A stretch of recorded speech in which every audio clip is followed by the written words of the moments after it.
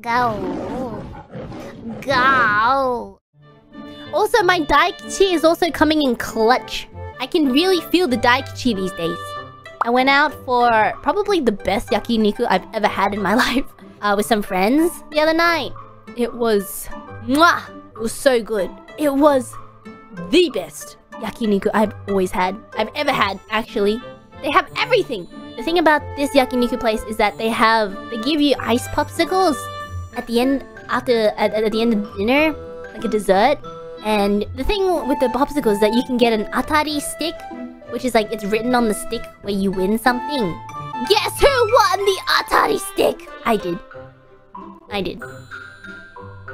I did. It was my daikichi.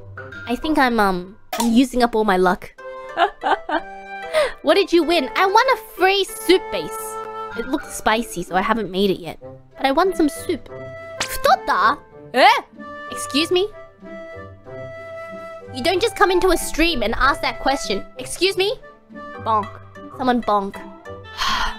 I'm not answering that question. How dare you? Is that why there's no six pack? Hey!